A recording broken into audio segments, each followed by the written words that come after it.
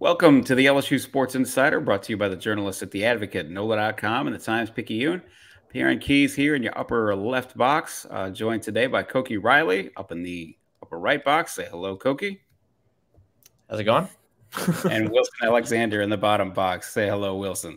Happy opening day to all who Happy observe. For those who aren't watching, Perryn's wearing a throwback Montreal Expos hat. Uh, I don't know if that's an honor of opening day or not, but uh, we're just going to roll with it. Uh, Koki is a huge baseball fan. Obviously, it's not opening day for college baseball. We're well past that, but um, happy opening day to all who celebrate. I should have been wearing Braves gear, but their game got postponed to Friday. So, um, well, so what's on, in all in all seriousness, Wilson? What's on your head? Because I can't tell. Uh, just a master's hat. My hair was like a cockatoo this morning, oh, so uh, you know, had had to just throw something on. Fair enough. Fair enough. Should have been should be like an Atlanta Thrash. It's not opening day for hockey, but should be like an Atlanta Thrashers. You ought to go vintage. Uh, if you if it's not going to be a Braves hat. I went to exactly one Thrashers game in my life, and I got uh, a stomach ache from eating oh, sushi right. at the um, arena. So, but arena sushi, arena sushi, evidently worse than gas station sushi. So who would have figured?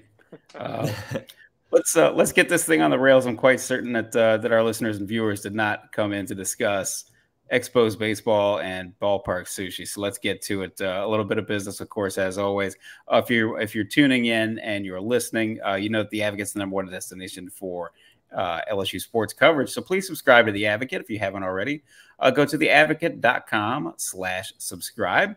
Uh, subscribe to our newsletter. There's a lot going on, as we always say, but it's it's always true, especially in the spring uh, really basically every single major spring major sport is going in the spring if you include football which of course is why wilson is here.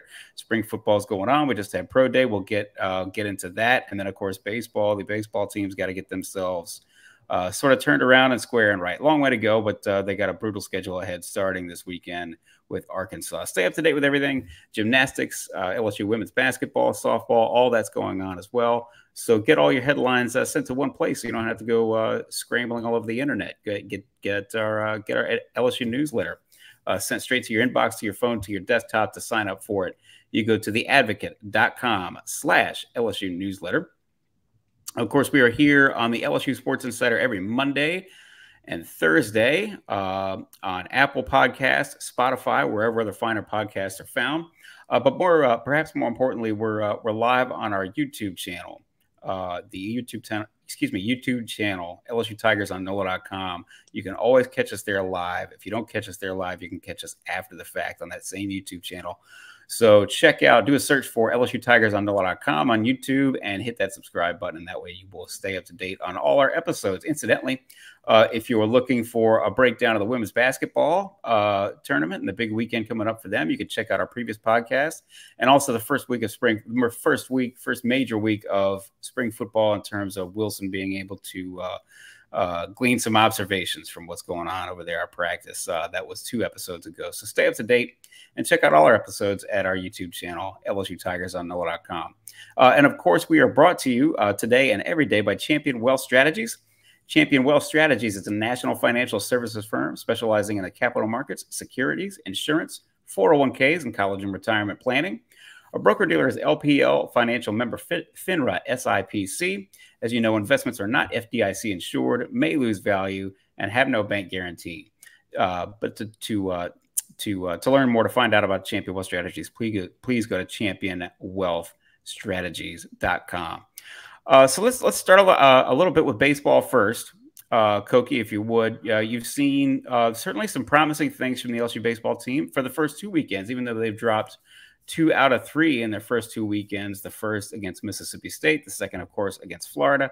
They get run ruled uh, a couple of times, and so uh, it, it's interesting. It's interesting, uh, obviously, the situation they find themselves in, and it's not going to get any easier as we speak uh, here on Thursday, sort of mid midday Thursday. Uh, the uh, the Tigers are gearing up for Arkansas and one of the best pitchers in the land, and Hagen Smith. So they will have their hands full to be able to get going. And first, first things first, uh, Koki, just tell us a little bit about the rotation and, and what J- how Jay Johnson is approaching this weekend.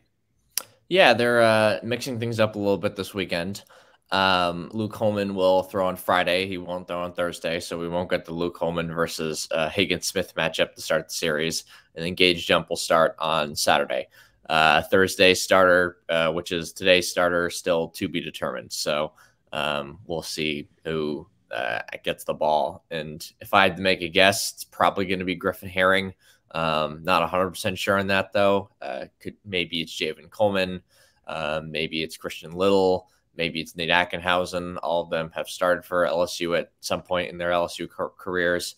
Um, Ackenhausen and Little last season, uh, Coleman three times this year, and Herring once early, uh, during the non-conference play. So um, we'll see how it all sort of shakes out. But uh, you know, Herring's been probably their best reliever up to the, up to this point, and um, he'll be rested well enough for this game, and, and, and I think they can probably get three or four innings out of him if they needed to.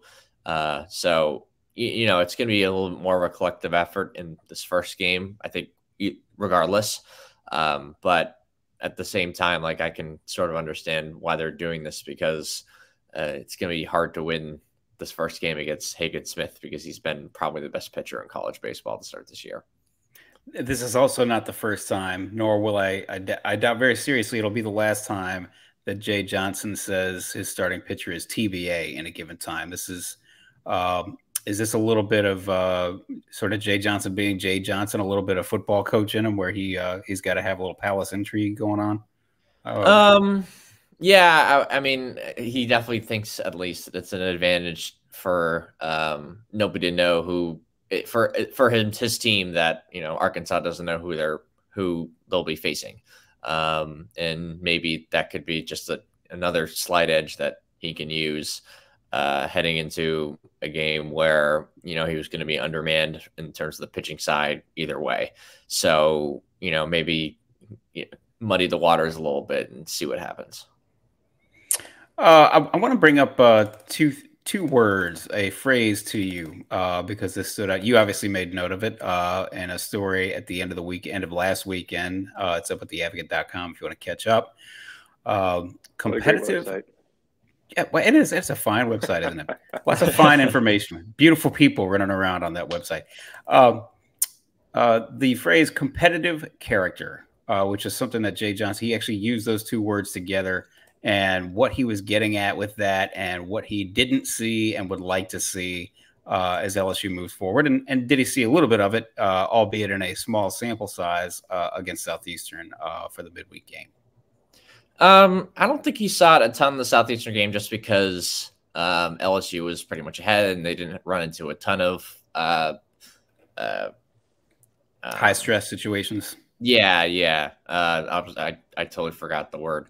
Uh, and so you, you know they just they, they're they pretty much control the game throughout, and it's really just a matter when you know when bleep hits the fan, how do you react?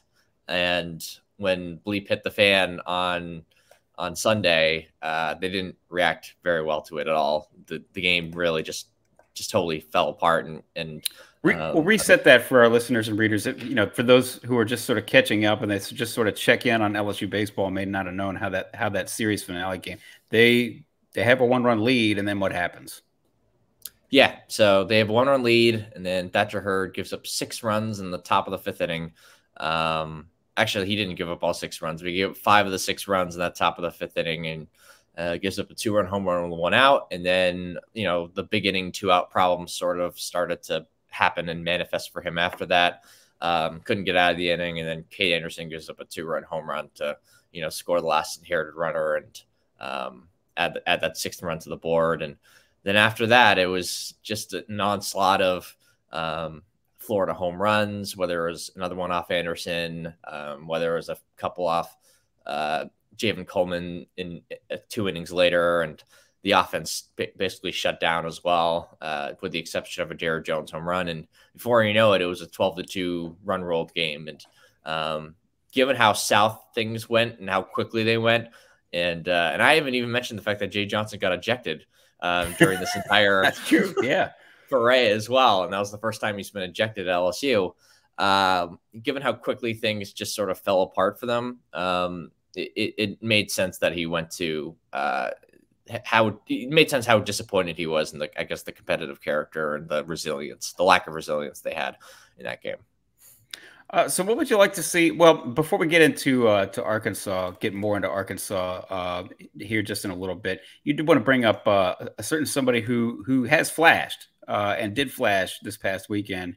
a young man by the name of Ethan Frey, who who did well, right-handed hitter, particularly against lefties, which is not a surprise, righty lefty, but he he particularly stood out.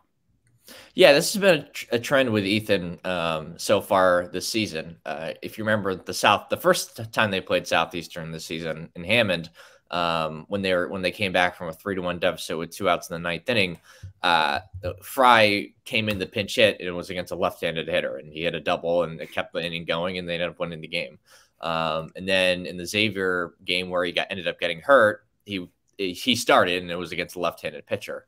And then when he came back from injury this past weekend, um, uh, he started two of the three games against Florida, and, and, Florida has two left-handed pitchers, you know, starting in their rotation, and Cade Fisher and Jack Caglianone. He starts both those games. He gets at least he gets one hit against Caglianone, and he gets two hits um, against Cade Fisher. So you're kind of seeing a trend here, and you're kind of you're not only seeing a trend here in terms of who he's starting against and when it's he's producing. So um, I, I, think Frey has become definitely like a very dangerous option for them against left-handed pitching. Um, and uh, I'm not saying he's you know terrible against right-handed pitching. He'll never play against right-handed pitching, but they had him lead off uh, uh, during the midweek game against Southeastern. You know this past week, uh, and it was against a righty, and he didn't get a hit. Um, I just feel like that's notable, uh, uh, worth noting, I should say. Um, and so so yeah, like I, I think he's definitely a weapon for them against left-handed pitching, and I wouldn't be surprised at all if he started in, in this game against Hagen Smith tonight. Uh, Ethan Frey on the season, uh, not not just versus uh, not just versus left-handers, but uh, his, his overall stats. He's played in 13 of the 26 games LSU has played, hitting 321 and 28 at bats. Uh, somebody who is uh, not hitting for quite the average, but has certainly made his mark, certainly left a mark on several baseballs as of late. Jared Jones hitting 289. He's already got 10 home runs on the year. He's uh, he has uh, he's certainly made his presence felt uh, lately. Yeah, uh, Jared's really improved his plate discipline and his ability to sort of uh, lay off of those breaking balls that he was chasing at. You know, really even in the beginning of this season. Um, I think right now he leads the team in walks. I think that's where you really see that patient approach. And when he's swinging the bat, he's hitting the ball hard.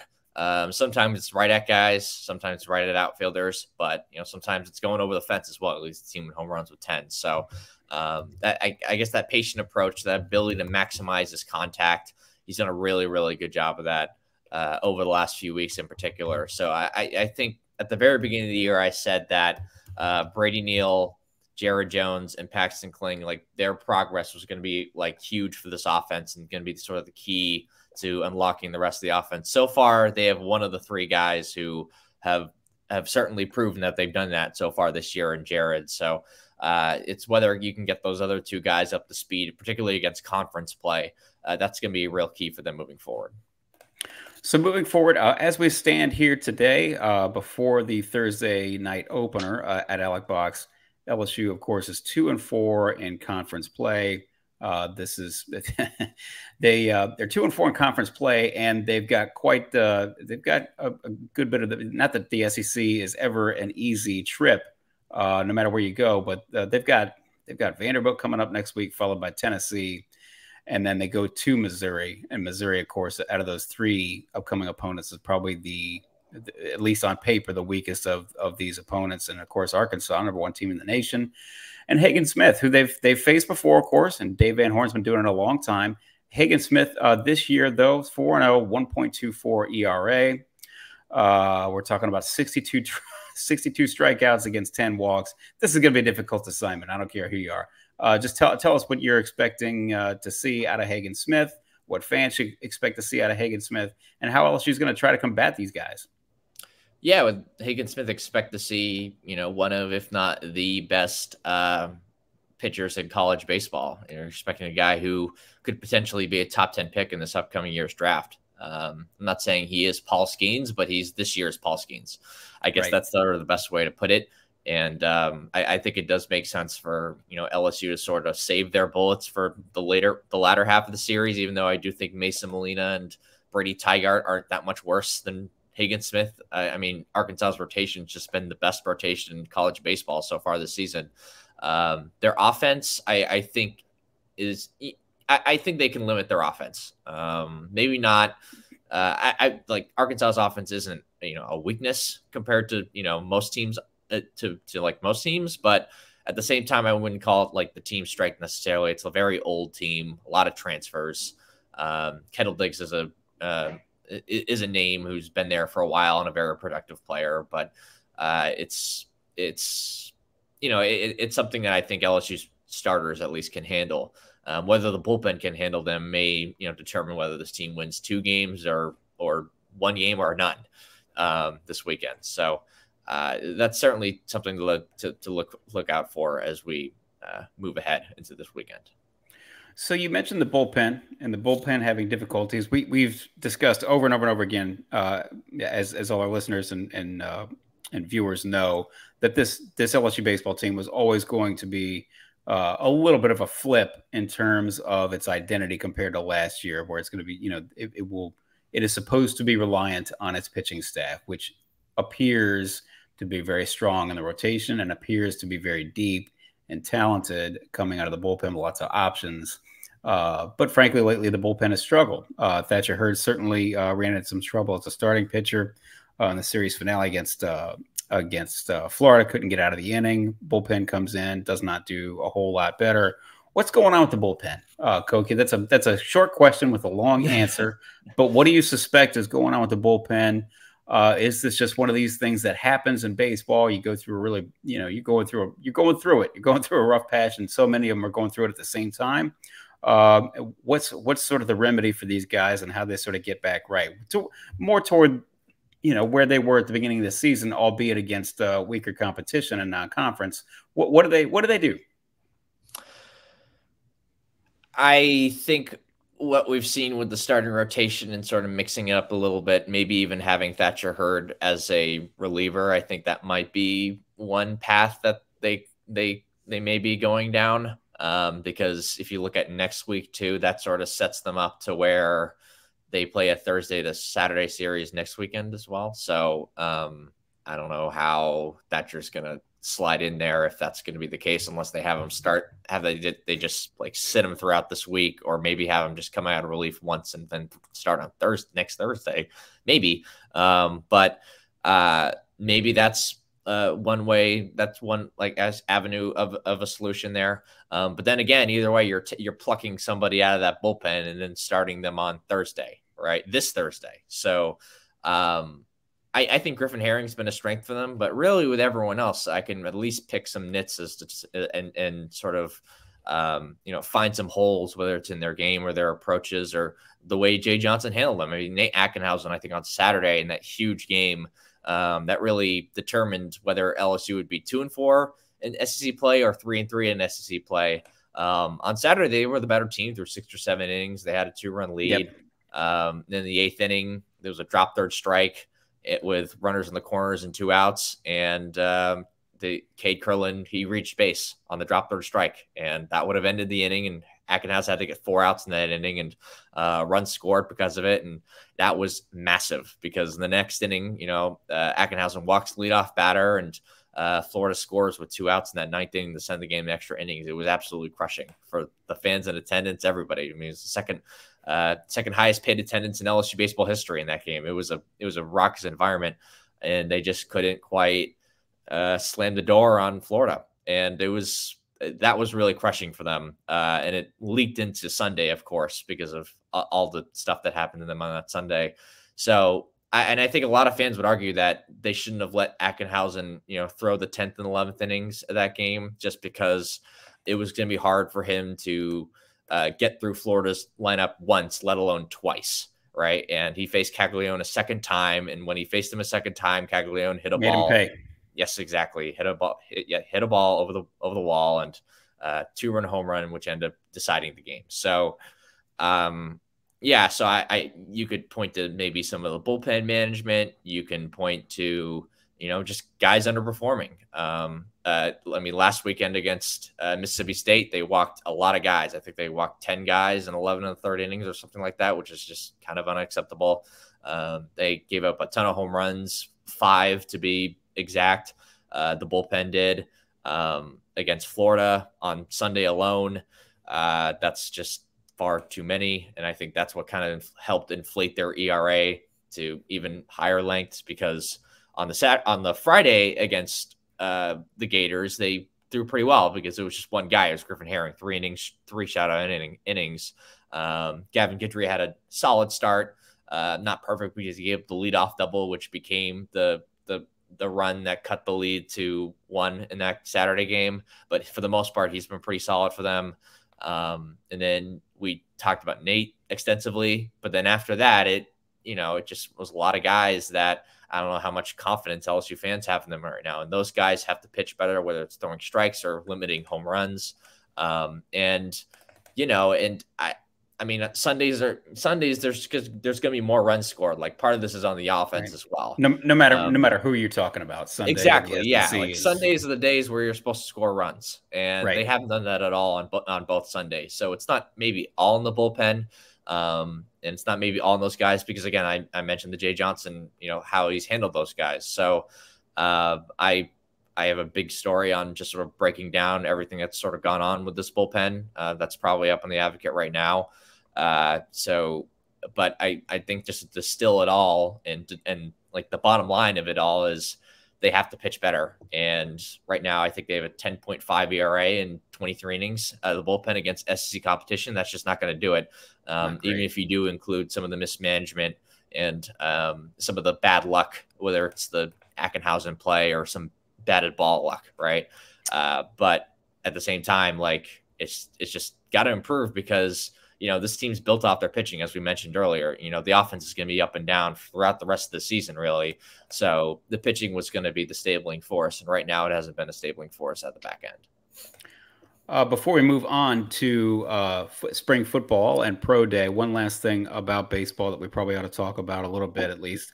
Uh, speaking of tinkering, uh, some tinkering continues in the outfield. Paxton Kling starts in center uh, the first and the last game of the Florida series. He came. He was on the bench on Saturday. Came off the bench. Uh, Brady Neal starts in right field in the last game of the series. Uh, that puts Josh Pearson at second base, if I'm not mistaken. Uh, mm-hmm. and then Jake Brown was in center field in the middle in the middle game. Jake Brown obviously doing doing a job at the plate. Uh, meanwhile, uh, Mac Bingham uh, he does okay. Um, had a couple of hits on Friday. He had a homer on Saturday, uh, and Pearson did uh, pretty well himself. This is still, you know, this is all a continuation of the mixing and matching that Jay Johnson's been doing in the outfield, and uh, maybe we'll see this all season. But maybe he'll he he will find uh, a combination that he really likes. Just give us your two cents on what's going on there in the outfield, Koki. Yeah, I, I think Paxton's struggles um, at the plate of sort of opened up and have sort of continued the third outfielder roulette that they've been having lately. Um, I think Josh Pearson and and uh, Mac Bingham pretty much established themselves as, as everyday guys, whether it's in the outfield or not. Um, and then Steven Milam's been kind of thrown into this mix as well because he's had trouble hitting against conference pitching, uh, SEC pitching. So uh, sometimes they'll move him back. They, they moved him back to second base on Sunday, for example. So, uh, so I mean, technically it's a second base and outfield roulette a little bit, right? But really, it's a third outfielder. Um, you know, roulette. So uh, we'll see. You know, Jake Brown is in that mix. Um, maybe if Ethan Frey can rehab his shoulder enough, because I didn't even mention this in the Ethan Frey portion, but he's been playing with a bad shoulder. Um, so maybe he can get in there a little bit. I mean, Ashton Larson, if if the matchups um, sort of help him out a little bit more on that, because he's a left-handed hitter and they can face a couple more righties, then maybe he's an option. Um, uh, so yeah, like they have a bunch of different you know guys that um, are sort of vying for an outfield spot, and um, whether it's Bingham in center, and then they moved uh, move uh, one of the guys to the corners, or Brady Neal to right field, and you know Josh Pearson to left, or something something along those lines. Um, that's something that they don't that, that they've done quite a bit as well, put, putting Brady Neal in the outfield. So, it, you know, it all depends on the matchup, really. Um, I, I, don't think, you know, Johnson's sitting a guy uh, unless it's, you know, the Kling situation because he's struggling at the plate so much. Um, I don't think he's sitting a guy because, you know, he's he's out of favor, right? I think it's because of matchup. Right. It's always about the matchups with him. That's what you have to remember. Um, it's why they don't really have a set bullpen. It's why they don't really have a set lineup. Um, and sometimes it's not even why they have a set rotation. Uh, so uh, that, that's something definitely to keep in mind as we head into this series. And um, it's why I, I, I kind of think Frey will might get some even some even more playing time against an Arkansas team that, of course, is Hagen Smith and a few other pretty good lefties.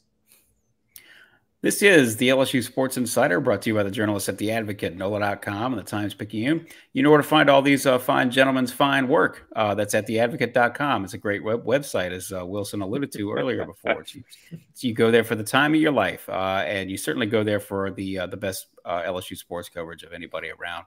Uh, and so if you don't if you don't subscribe already, please do support your local journalists. Uh, you know, we uh, the Advocate's always been known as the number one destination. We cover LSU wall to wall. Uh, and so, uh, you know, don't miss a don't miss a moment. Get all the uh, news and the latest headlines sent straight to your inbox, to your phone, to your desktop. With the LSU newsletter, Scott Rabalais handles that three times a week, but it's a daily newsletter sent straight to your email. And so you can sign up for that, and you won't miss a moment there either. You won't miss all the headlines, all the latest. Sign up at theadvocate.com slash LSU newsletter. We are here every Monday and Thursday on the LSU Sports Insider uh, on Apple Podcasts, Spotify, wherever other finer podcasts are found. And of course, uh, perhaps more importantly, we are. Uh, uh, we, whether we're in the studio or doing this virtually as we are today, uh, we are here uh, every Monday and Thursday on our YouTube channel, uh, LSU Tigers on NOLA.com. If you uh, go onto YouTube and search LSU Tigers on NOLA.com, you should be able to find us, and you will be able to find us there live whenever we go live on Mondays and Thursdays. If you don't catch us there live, you can catch us on that same YouTube channel after the fact. So please sign up for that as well. Uh, and of course, we are brought to you every Monday and Thursday by Champion Wealth Strategies. To learn more about those fine folks, go to championwealthstrategies.com and plan like a champion today. Uh, so, speaking of champions, or uh, certainly people who have performed like champions lately, uh, let's talk a little bit about Wilson about Malik Nabers. Uh, oh, I thought you were going to say me, but okay. Well, I, I don't know. I, how'd you play? How was your golf game lately? It's gotten better. Huh? But yes, Malik Nabers had a fantastic pro day. Uh, I think that's a little birdie says before I cut you off there. Um, no, a little birdie says your your your short game is not champion champion level. Rab's ratting me out over there. I um, we're working on it. We're you know it's gotten better. That's good. Um, yeah, it's, got, it's, we're working on it. But um, Malik, yes, at pro day. Uh, to get back on track here, he really shined. You know, going into this, it was already uh, pretty obvious that Malik is going to be a top ten pick. If he fell out of that, it would be shocking come draft night. Um, really, I, I think probably maybe a top six pick, and he I think solidified that with what he did at pro day. A 42 inch vertical jump, a 10 foot, nine inch broad jump, and a 4.35 40 yard dash. And then, of course, did everything that you expect of Malik in the, during the throwing session as well. Crisp routes, varied routes. It Brian Kelly said just validated what you see on film uh, and his ability to separate from other players, you know, from corners and DBs uh, when he's running his routes, and then his ability to pick up yards after the catch. All of it goes back to his explosiveness, and just you know really shows that in those numbers how explosive of a player he is. You see comments from NFL draft analysts um, who have done this for a long time, um, calling him the most explosive player uh, in this draft class potentially. Uh, that view is certainly out there.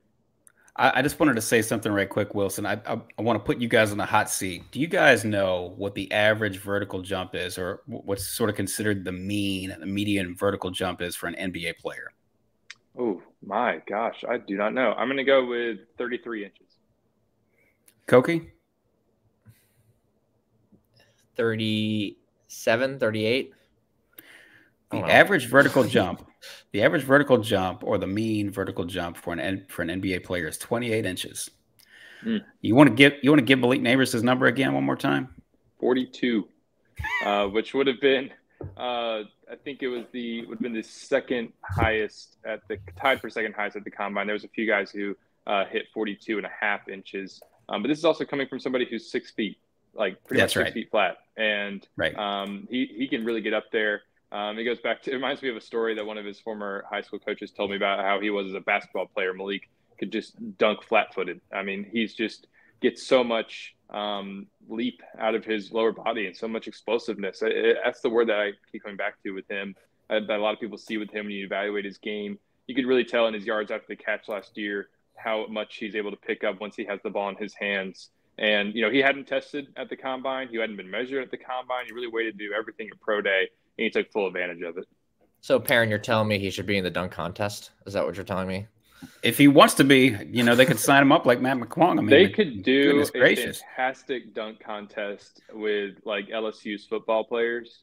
Um, you know, would it compare to like what you could would get out of LSU's basketball team? No, probably not. But you talk like if, like especially from some names that come to mind, like Trey'Dez Green. If you got him involved once he got on campus, yeah. I mean, yeah. six foot seven, tight end with a basketball background. Brian Thomas was a basketball player pretty much his entire life. Can jump over the rim. Malik as well. I think you could get some interesting results. They probably, you know, would they would they do it necessarily? Uh, maybe not. I don't think their agents injury, are going to be too keen on it right yeah, before exactly. draft. I'll but tell like, you that. exactly. I mean, it has to be better than be a fantastic site. It has to be better than the NBA slam dunk contest. That's all I got to say. So it would. Well, I think it would be more entertaining, frankly. Exactly. Uh, yeah, it's got to be better than that. So, but it, it is the bar's it, low. in all in all seriousness, it, it is just a, a reminder just how in, insanely good these these guys are, and how insanely good elite. Not to get too far sidetracked, but how how insane elite athletes truly are.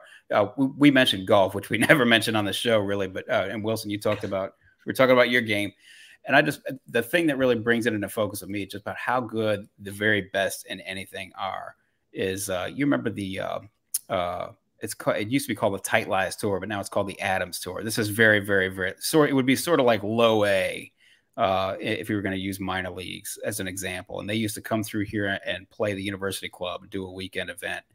And these guys would shoot something like, I mean, they, you know, the winner would be something like 35 under or something like that for that, just tearing up this course. And these are guys who are never, never, ever, ever going to sniff the PGA Tour. I mean, these are the best of the best of the best of the best. So uh, just find that you know it's it's a reminder of just how good the the elite the elite athletes are uh, anywhere you go and whatever you see. Uh, let's move on to uh, Brian Thomas. Speaking of elite, he had a nice little forty time that he turned in, didn't he? Well, yeah, I mean that was at you know the combine. Uh, he had the four three. Oh, that's Brian right. Yeah, you're right at all yesterday. Uh, somebody asked him afterwards why he didn't work out, and he goes, "I did everything at the combine." um, I was like, uh, "Yeah, he stood on his combine numbers because why yep. wouldn't you when you test the way he did? He was one of the most impressive receivers and overall players at the combine about a month ago." And so, you know, he participated in the throwing session with Jayden Malik and some of LSU's other uh, current receivers uh, too. Um, you know, had actually one of the highlights of the day was kind of subtle during the throwing session. Um, if you don't have a keen eye for it, that all kind of starts to blend together um, in some ways. Um, but Brian had this great vertical route down the field where he brought in a, a long, uh, deep throw uh, from Jayden down the right sideline with his fingertips. Um, that really caught the eye of some evaluators and uh, just further emphasized that he is a, a, top 15 pick, most likely. Maybe he gets up as high as 12. Um, would he drop past 15? It's possible, depending on how the draft shakes out, but he's certainly in that range. He's going to be a first round pick. Um, and uh, he, you know he, he brings so much to the table. Um, you know, not just as a vertical player, but you know, he was showing some different routes yesterday that emphasized that he can do a little bit more than just be that. That certainly seems to be the strength of his game. But you know, after what he did at pro day uh, in terms of, like I said, in the throwing session, on top of his combine and all the film that he had last year, he solidified himself just like Malik did uh, as one of the top players in this class. So certainly from the wide receiver position. Yeah, it, it seems like it's it's um, Marvin Harrison Jr., Rome Odunze, and Malik Nabers is kind of like a tier top three, and then it's Brian. I, mean, that's what it sort of seems like at the moment.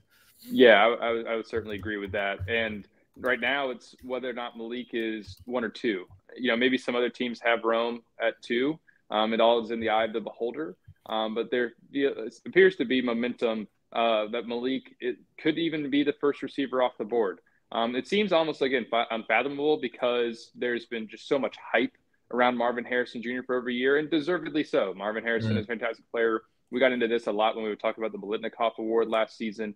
This isn't really to take away from either one of them, um, but you again see from draft analysts, folks who really cover the draft closely, um, that there's some teams that have Malik Nabers as their number one wide receiver, and there's even some that have him, according to Dane Brugler of the Athletic, as their as their like top prospect on the entire draft.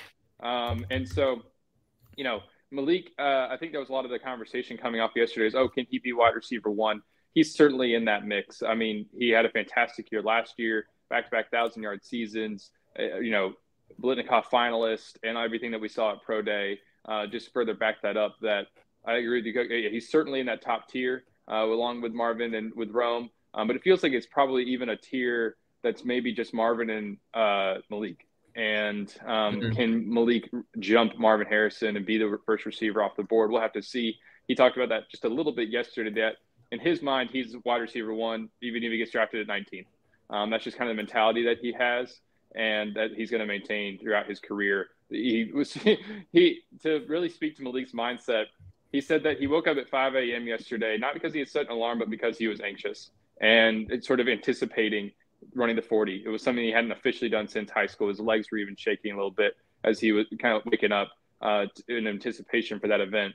He said that he ran it a second time after having got hit 4.35 unofficially uh, because he had seen somewhere in the media, didn't say where this came from. I don't know who said this, that he was a 4.5 or 4.6 guy and he wanted to prove that and showcase that what he really is is in that guy who's a 4.3 to 4.4 and again no clue where that came from. Might just be one of those kind of athletes who manufactures chips on their shoulder because that was a phrase that he used quite a bit yesterday was having a chip on his shoulder. He wants to prove that he's the best wide receiver out there. That's certainly how he th- views himself. It's it, there was that that quote was making the rounds on social media as you know the manu- classic manufactured chip on the shoulder sort of you know comment you know the michael jordan thing where he's you know, just coming up with uh you know reasons out of thin air to uh, be motivated on a single day right? Like it's a it's a very similar thing and it's uh it's kind of funny to look at from the outside but it's also very smart um uh, for any athlete and especially for a guy like malik to sort of do that with himself it seems to be uh, effective for that that certain type of you know that athlete with that certain type of personality. For what it's worth, CBS Sports, the latest mock, uh, has Malik Nabers going sixth, as does Mel Kiper of ESPN. The lowest I can find anywhere is him going ninth, uh, which does bring into question where do we think uh, that uh, one number five might go? Jayden Daniels. He uh, obviously threw passes yesterday, wearing a very specific sweatshirt, which I thought was a nice touch uh, incidentally. But um, you know, we see we see other quarterbacks who um, and look, this is this happens every year, all the way across the board, across every position, and all that. Uh, but certainly, uh, players, quarterbacks who, uh, you know, frankly, did not uh, accomplish as much last year or in their college careers as Jayden Daniels did. Uh, where does he stand now? Uh, what did he? what did he? what do? Well, what do we think about all this? Wilson, go, go ahead. Jayden, you know, only threw yesterday there was really no reason for him to test as much as we would have loved to have seen Jayden run the 40 just to know what the time is. This is a guy who verified 21 plus miles an hour in multiple games last year. So another, no another guy who could just be. another guy who could just point to the tape and say, I've, I've put enough on film. You guys go ahead and take a look at that. I'm sorry. Go ahead. Exactly. He still took measurements. That was something that he and Malik had not done at the combine. So teams got his height, weight, hand size, arm length, etc. Uh, a quick note about Malik. Speaking of hand size, nine and seven eighths, which is the same as Brian Thomas, even though Brian Thomas is three inches taller. Malik wears wow. four XL gloves. it's just wild. His hands are absolutely massive, especially for a guy six feet tall. But back to Jayden. Um, you know, he just did the throwing session, like I said, and you know, it, he missed some throws here and there. Uh, overthrew his receivers a couple times. Uh, it really seemed to settle in though toward the end. Hit some impressive deep balls. One in particular to Chris Hilton as the media was kind of walking out toward the interview room that was like a 65 yard kind of throw. And it emphasized how effective he was throwing the deep ball last year. You know, that throw day, the, the throwing session probably isn't going to dictate exactly what teams do at the top of the draft unless it's absolutely abysmal or overly impressive. Um, Jayden, really, you just point to his film last year, like you said. And what, what he did want to do yesterday, though, was show a few different things that we didn't see from his uh, senior year at LSU. He took a few plays under center, which is something that LSU never did, uh, and did you know fake handoffs, play action. Again, not something that LSU did from under center last year with him at all. And then he also wanted to do some off platform stuff, which we saw a little bit from him, but that was kind of the main uh, focus of his throwing session, which uh, had been designed by his personal quarterbacks coach, Taylor Kelly, out there at 3DQB, who was running that for him yesterday. And he wanted to show that regardless of kind of whether he was in the pocket or throwing off platform, uh, that he could get his feet back underneath them and kind of show his footwork. And so he thought he accomplished that. Um, and Jayden is still coming out of that pro day, you know, either most likely either the second or the third pick of the draft. Um, there's a very strong chance that he ends up going number two to the Washington Commanders. Washington Commanders coach Dan Quinn was standing right behind Jayden throughout his throwing session. The Commanders had a strong contingent there, as did the Patriots at number three. Their senior offensive analyst Ben McAdoo standing right behind Jayden, and even the Vikings quarterbacks coach Josh McCown. The Vikings are another quarterback needy team. Uh, that he was standing right behind him. Antonio Pierce, who Jayden has known for a long time, uh, actually coached him at Arizona State, head coach of the Raiders now. He was there, as was the head coach of the Saints, Dennis Allen, and the head coach of the, it is suddenly escaping me, uh, Bears. Um, was there too, and it looks like the Bears are going to draft Caleb Williams, but mm. um, you know they still had some people there checking out Jayden as they do the rest of their homework. Uh, Jayden is in that upper echelon of players this year. He's probably going to go second or third, and it just depends on how things shake out a month from now in Cleveland. I think the the Patriots and the Commanders had their entire brass there. At, you know, head coach, you know, GM, the you know head head of pro scouting, you know, all the way all the way down. And I think they're all going to make their way to North Carolina, uh, or they've made their way to North Carolina already for today for uh, Drake Maye's pro day. So um, it it all just it, you know it all just makes sense. And another thing to add to it was uh, reportedly Jayden hadn't really started his meetings at all and that really came uh, kind of started here around pro day, and so that might have even been more important uh, to some of these teams than just watching him throw on air. Um, because then they could actually get in rooms with him. You know, certainly I would imagine some of that happened at the combine, but you know, more of an individual thing, further evaluation in this process, just getting to sit down and talk with him. Uh, that was happening around pro day as well, and uh, that was a big reason for teams to come down too. Uh, elsewhere, uh, there uh, obviously these these two uh, folks who we were talking about were not were far from the only ones who who were participating in pro day. You know, so many of these you saw. Uh, Louis Riddick was among you know many many many many personalities who you know just sort of made broad general statements about like the, you know, the talent level is incredible here at LSU. Um, and so that and that in and of itself is not a surprise. But I did want to because you had a story that's up today or has been up for a couple days now at, uh, at theadvocate.com about uh, you know something somebody who was something of a curious entry into the NFL draft, and that's Maason Smith. You had a chance to be able to talk to him. Uh, you know, probably a projected maybe you know second day or excuse me, you know mid mid round, third or fourth round type of guy, uh, but certainly you know was as coveted a prospect as there's been uh, over the last several years uh, in the state of Louisiana he uh, he was able to uh, just sort of discuss why he made the decision he did, and uh, tell us about how how well he did, and you know what, what the prospects are for him moving forward. Well, Maason, I didn't get to speak with him directly. He spoke at the combine last month, so I do want to make that. I apologize because that's my mistake. He, he said at the combine how he left LSU early, in large part because of the uncertainty around who was going to be the next defensive line coach. He had played under a different defensive line coach every single season at LSU. Um, and there was still that uncertainty uh, when he was making his decision to declare.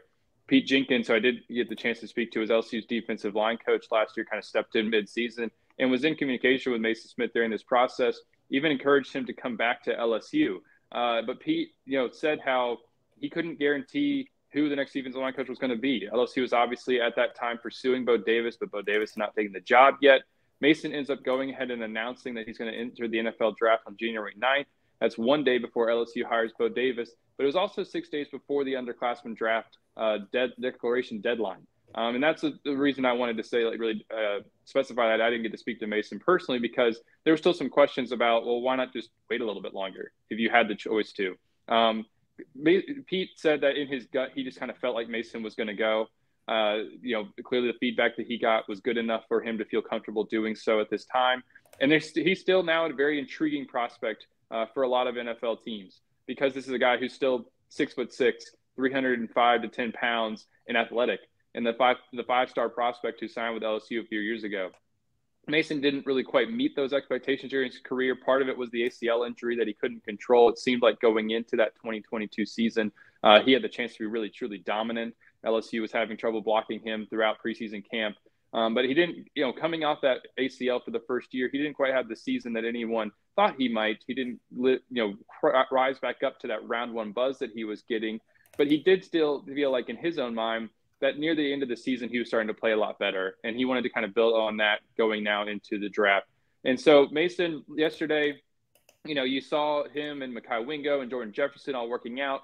None of his numbers necessarily like popped out at you or anything like that. Um, so I'm not sure necessarily what his pro day did or did not do for his stock.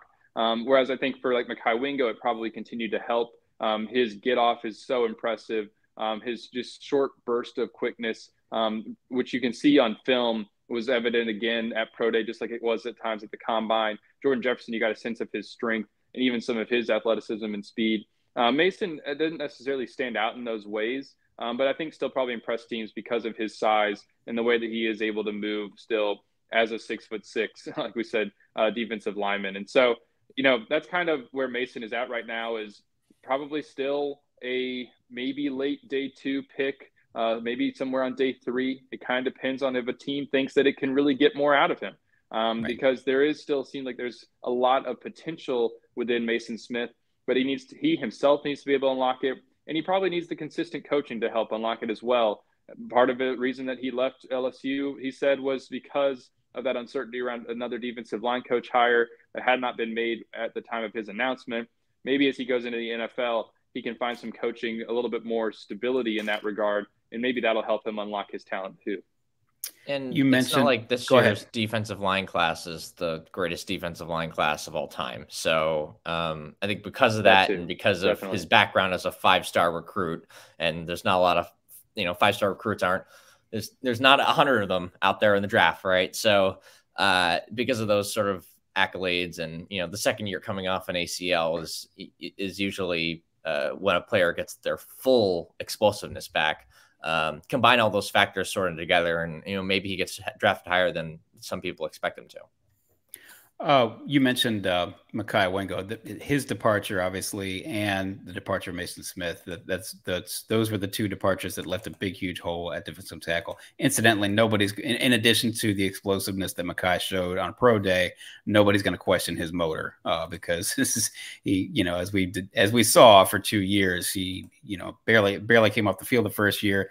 Didn't he came off the field a little bit more often uh, last year, but certainly certainly uh, nobody's going to question his motor or his uh, his level of production. So uh, good on him. That does leave a hole on the defensive line. Um, and we have always suspected that this offseason that would be uh, LSU's priority number one would be to find somebody in the transfer portal. They have found a defensive lineman, maybe not the uh, splashiest pickup, uh, but tell us a little about uh, Wilson about Wisconsin defensive end Gio Paez, who committed to LSU just the other day. Gio was, like you said, listed as a defensive end at Wisconsin, but this is somebody who is over 300 pounds and is going to be a defensive tackle at LSU. Uh, he is, you know, the first transfer pickup that they have on the defensive line.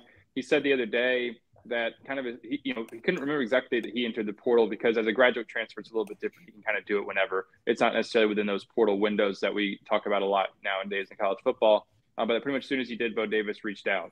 Um, so certainly, you know, after LSU had hired Bo Davis, LSU like is in the market for at least one defensive tackle. I would be surprised if it's not at least one more, um, maybe even two, come the spring portal window, depending on how how the roster shakes out, who enters, all those sorts of things. Um, the spring portal window could be absolutely chaotic uh, here in April. Um, at least much more so than it has been in the past. And so maybe there'll be opportunities to find some of those top defensive uh, interior linemen um, for LSU. But for now, yeah, Gio Paez, a guy who's uh, going to be in his sixth year of college football. Uh, he didn't really play a whole lot for Wisconsin until the last couple of seasons. Uh, but last year, he played in 13 games with six starts, and he made, I think, a career high around 23 tackles. I also had a couple of quarterback hurries. You know, this is someone who, you know, Bo Davis clearly uh, believes in. This staff clearly believes in. This is a guy who's coming in on scholarship. It's not like he's preferred walk on or anything. Uh, this is one of the, you know, as they're making, you know, additions to, the, to this defensive line, this is someone who um, is uh, is important in this whole equation. Um, like you said, maybe didn't make the splash, but it certainly matters as we talk about the defensive line moving forward. Um, as a six-year senior, he's going to be have a chance to come in and compete, and we'll see what he's able to do come preseason camp. It's not like he's going to come here in the middle of, of spring ball. It won't be a mid-semester edition or anything like that. So um, when preseason camp rolls around, we'll get a better sense of how he fits into the equation. But he's definitely going to be expected to be a piece of what LSU is doing next season when you bring in a guy who's got one more year of eligibility. So uh, we've gotten uh, we've we've discussed LSU football for about twenty minutes. We've actually not hit on spring practice itself. So uh, we're about halfway through, a little bit uh, past the halfway point now of spring ball. They're going to take a break here for a week uh, because of the holiday, obviously, uh, and school is out. Well, really, just a long weekend. Yeah. The long. Okay. All right. Well, well, go through the if you would go through walk us through the next several three or four practices. Just yeah, they practiced uh, on Thursday. That was closed to the media. They'll practice again on Tuesday. Uh, they just don't practice over the weekend for Easter. Give the guys off for that holiday, and then then it will uh, be pretty uh, a couple of practices in short succession from there to, through the spring game on April 13th. So they'll practice next Tuesday, next Thursday, next Saturday, then a couple times a week after that, heading into the spring game there in Tiger Stadium. So, uh, observations uh, from spring practice. There have been uh, changes in the secondary. It looks uh, as though uh, certainly last weekend uh, you had a chance to take a, a good long look. And tell us, first of all, just tell us where the sort of the secondary stands with you know Sage Ryan not only moving around, but now also you've got Jardin Gilbert and whoever else is coming in. So, just reset some of that if you would, to the extent that it's going to be reset at this point. Yeah, I'll, hit on this on this quick and and you know, the big changes that Major Burns, uh, former, uh, who have been a deep safety the last couple of seasons, is playing what's called the star position. The star position is more of a hybrid uh, defensive back, has some almost like outside linebacker responsibilities and certain looks that's become, you know, mo- now in modern football, it makes sense for a defensive back to handle some of these things. And Major is now playing much closer to the football, um, almost in the box at times and down near the line of scrimmage. And the change with that, him with him moving down there, is now you've got an open spot at safety next to Jardin Gilbert, who is the transfer from Texas A&M. He's been a first-team safety from the moment he stepped on campus. He'll be a starter in the fall as long as he stays healthy. Uh, is now that Sage Ryan is back at kind of a natural position for him. LSU moved, has been moving him around a lot, excuse me, during his career. Um, but safety was always kind of his natural position. He gets to go back to that. We saw him have three interceptions on Saturday. Uh, to add some context to them, because they were all off of Garrett Nussmeier, and some people like, oh gosh, what does that mean for Nussmeier? You know, one of them was directly, they kept having Garrett throw directly into the wind. The offense was moving directly in that direction and really stiff wind on Saturday. And so he threw a deep ball to Chris Hilton, who split the safety in the corner. Um, and it just kind of seemed like the wind maybe affected that a little bit. Sage was able to catch back up to the ball and come down with a pick. On the second one, was kind of in like a two minute situational uh, period um, where LSU's offense is probably running the same plays quite a bit. But credit to Sage, he read what was coming uh, and picked it off for sort of what was somewhat of a pick six. And then the third interception was off of a tip. Uh, Jacobian Guillory at the line of scrimmage, and Sage, Sage made the most of it. So that's kind of what you got dealing with at safety. Uh, in particular, is it, the real difference is that move with Sage, with, excuse me, the move that Major Burns made uh, into that star position now closer to the line of scrimmage and Sage now shifting over to to the other safety spot next to Jardin. Corner is still a complete uh, competition. I mean, I, I think it's just too early to really name any sort of leaders in the clubhouse. That being said, what we have seen thus far is Javien Toviano and Ashton Stamps have kind of consistently been with the first team defense. Makes sense as those are guys who started near the end of last year, have been in the program. Um, you've still got J.K. Johnson appears limited. Zy Alexander is coming off an ACL, and Ji'Ayir Brown is just now transferring in as well as PJ Woodland, and early enrollee. All you know, all those guys are still kind of um, they haven't overtaken Javien or, or Ashton, um, but there's going to be quite a bit of competition uh, all the way throughout the rest of the spring and into the preseason too. Uh, tell us about the wide receiver position. This is again going to be a position that's not going to be settled and and set and straight uh, leaving spring, uh, but certainly uh, players like Ky- Kyren Lacy can uh, do do a lot to help themselves. Uh, Chris Hilton as well, some of the other, uh, and of course some of the other youngsters. Kyren Lacy and Chris Hilton have been the two uh, sort of, I guess, risers at that receiver position here throughout the first half of spring football. Brian Kelly said of Kyren Lacy that he was the third guy last year uh, within that room, you know, and now he's the man and he's sort of approaching everything like that, you know, handling himself in that way. that you know, excuse me, Garrett Nussmeier complimented what he's done so far this camp a, a couple weeks ago. Um, and saying some of the social media clips that LSU has shared is pretty representative of what Kyren has done. And the bits of practice that we've seen, that absolutely looks correct. There was a, probably one of the highlights of practice last Saturday was that Garrett threw a deep ball to Kyren. Again, it looked like it just maybe got held up in the wind a little bit, and Kyren snatched the ball pretty much off of Jardin Gilbert's helmet. Uh, and then just kind of trotted into the end zone. It was a fantastic catch. And this is a guy who looks like he is um, really, I mean, he's going to be a starter uh, on this team, for, by, I, I, believe. And um, he, he looks like he might be able to now take that next step too, which that's the thing. It's, you know, Kyren was a starter last year. Now he needs to just be more consistent. And Brian Kelly said that he has been so certainly in his approach to practice, um, which is a big thing uh, for him. And so, and then Chris has been able to be a lot more consistent too. That's another, again, the kind of the main word with him.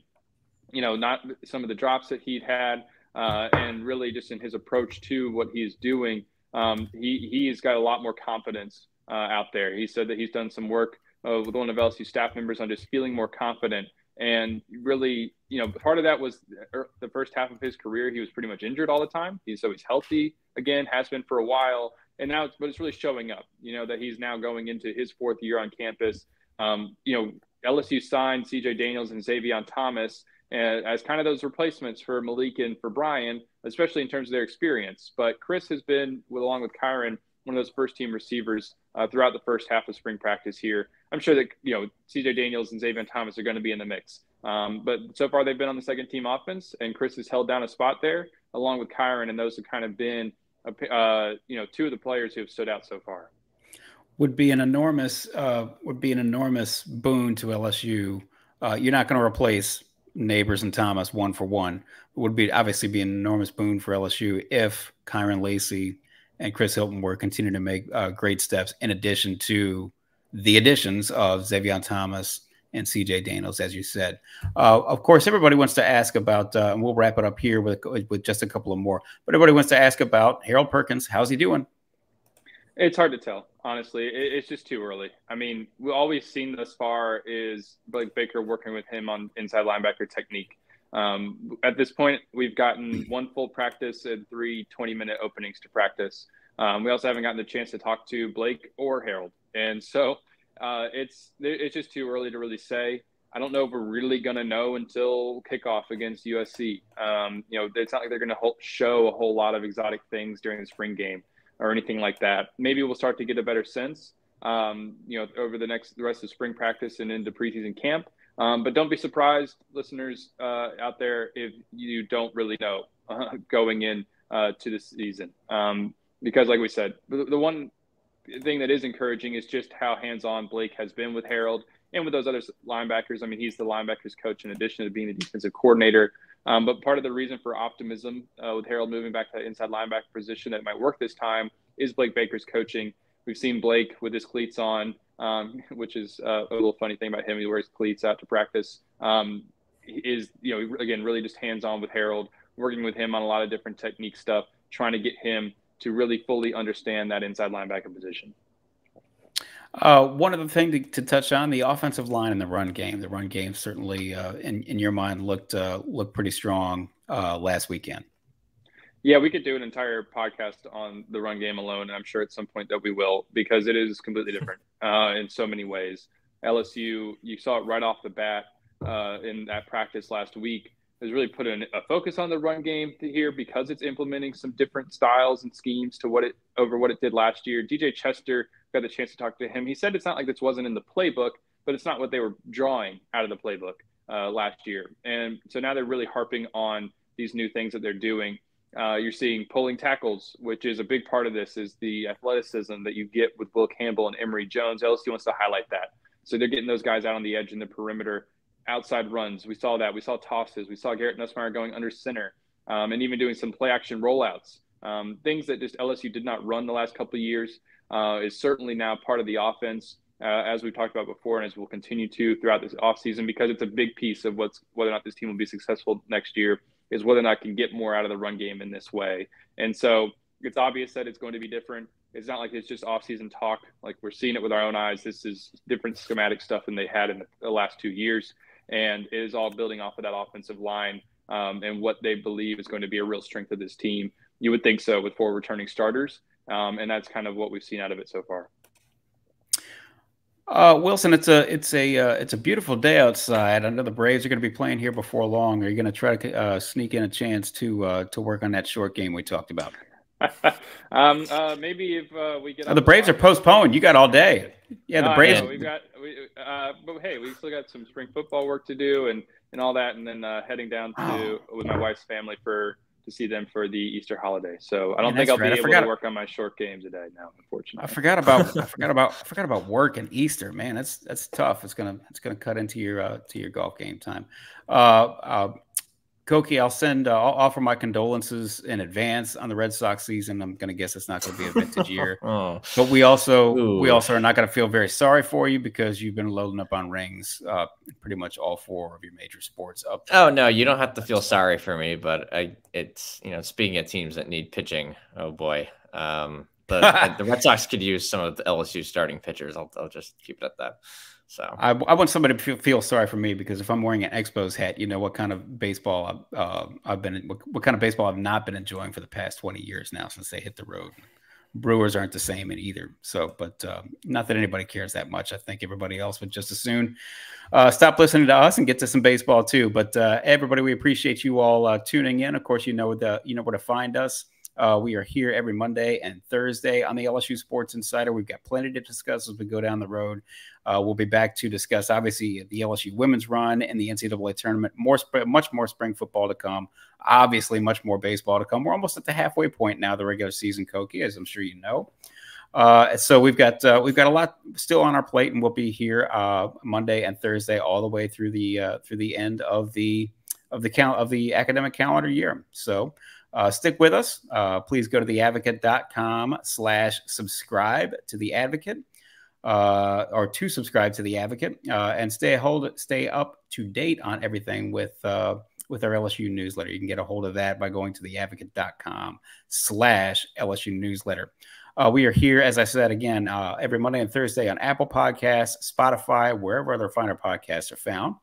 Uh, and of course, uh, perhaps more importantly, we are here on YouTube live every Monday and Thursday. If you don't catch us live on our YouTube channel, LSU Tigers and NOLA.com, uh, you can catch us on that same YouTube channel after the fact. That's uh, LSU Tigers on NOLA.com on YouTube. So please subscribe to that as well. And please check out our friends at Champion Wealth Strategies to uh, to find out more about them and all their services.